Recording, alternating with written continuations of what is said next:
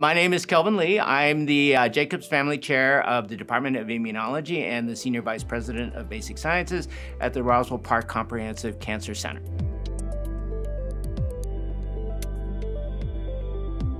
They are both about 95% effective. And what does that mean? In the clinical trial, half the patients were vaccinated with a placebo, which didn't do anything. It doesn't do anything, and half of them were vaccinated with the uh, with the, the vaccine itself. And then they just simply follow along to see where which group gets infected. So when uh, they looked at this, 95% of people that got COVID-19 were in the placebo group, and only 5% were in the vaccinated group. So that's why you hear the idea of 95% protection because, uh, you know, essentially everybody that didn't get vaccinated or people that didn't get vaccinated, the, that was where all the infections happened. So as far as we can tell, based on the initial clinical, uh, phase three clinical trials, both vaccines are about equally effective. And they're actually very effective compared to, you know, the flu virus is only about 50% effective. So 95% is pretty darn good. There isn't really anything from a brand standpoint that should, uh, that should influence a consumer, for example, in picking one or the other. Now, the scientists are going to follow the performance of these individual vaccines because they are they're made differently. And we will know maybe in a year or two years if one actually over the long term performed better or worse than the other one.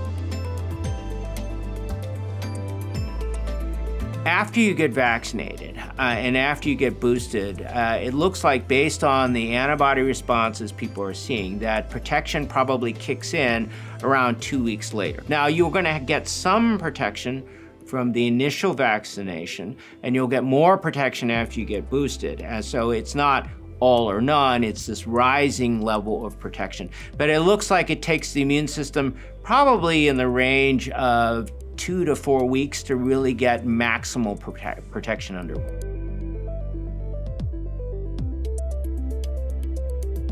How long they will protect you, people don't know because simply there hasn't been enough time uh, since the start of the clinical trials to say, any more than two months worth of protection, right? Because that's as far as the trials have gone. We will learn that as time goes on. So we will be fo closely following patients that got vaccinated, specifically looking at their immune responses and whether or not they get infected to answer the very question, how long does the protection last? Now again, in the short term, for people that are at higher risk to get exposed or suffer from getting infected, any kind of protection is useful. But in the longer term, we will need to figure out how long does the, the protection last, whether or not people need to be vaccinated, uh, revaccinated, reboosted every year, or whether or not you have lifelong immunity after the first set of vaccines. So the short answer is yes. Uh, if you get COVID-19, you can very clearly transmit it to other people. Again, the vaccine is not 100% effective. It has, at least in the initial studies, you know, 5% of people that got vaccinated actually got infected. So it is not a, you know, it's not a golden ticket. You're not protected 100%. If you do get infected, uh, you, and you have symptoms, you are somebody that can spread COVID-19 uh, to your nearby contact.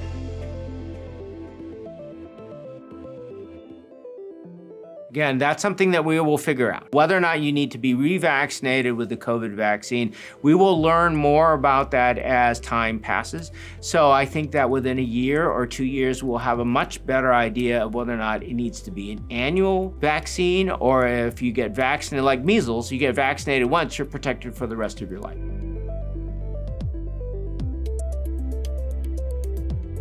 Yes, we need to continue doing all the things, masking, social distancing, hand washing, being careful, because until nobody die, is dying of the virus, we need to take every possible uh, action that we can to defeat this virus. So that includes the vaccination, but that includes everything else.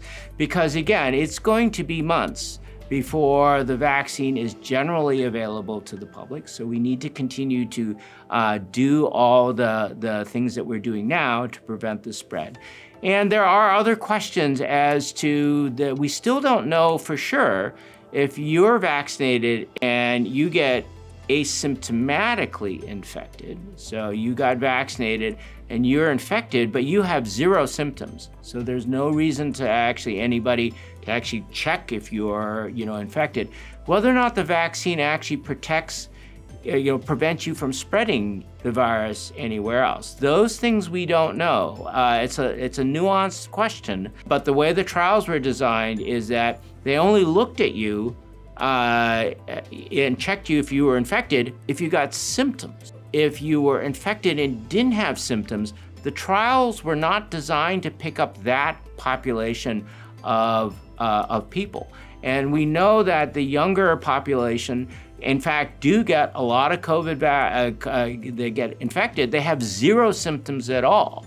So we don't exactly know how the, the vaccine performs in that population. So that means that we still, until we know, until we discover, you know, until we do the science and the research to look at that, assume that everybody else has COVID, they should mask, social distance, hand wash.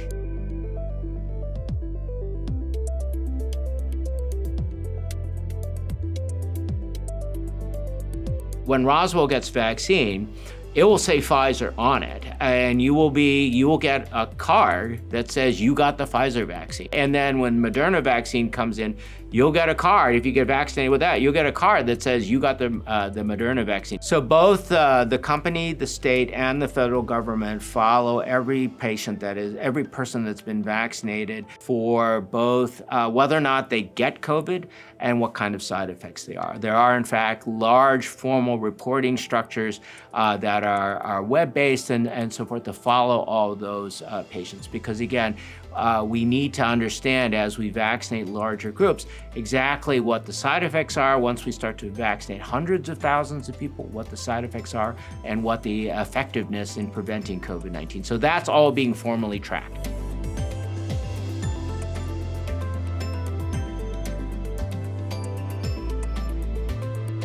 First part is when will we have enough vaccine to vaccinate the general population? The guess would be that that's going to occur within the 12 to 18 months, uh, depending on the ability of the companies to ramp up their uh, production capability and also depending on how many vaccines come onto the market. Because if we have one vaccine, that's different than if there are five different vaccines that are all equally effective that are on the market. So that's one component. The second component is when will there be enough people that get vaccinated to protect, you know, to, to uh, uh, lift the restrictions.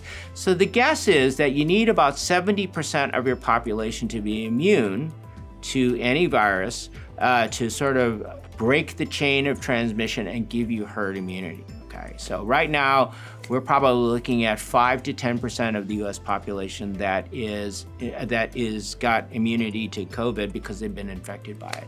So we have a long way to go before we get to 70 percent, and a lot of that is going to depend on whether or not people get want get vaccinated, right? Because the vaccine is not going to Uh, is likely not going to be mandatory. So people will want, they will have to want to get it, and we'll have to be able to, eh, you know, get it into 70% of the population before there isn't even a reasonable chance that we can be able to lift restrictions.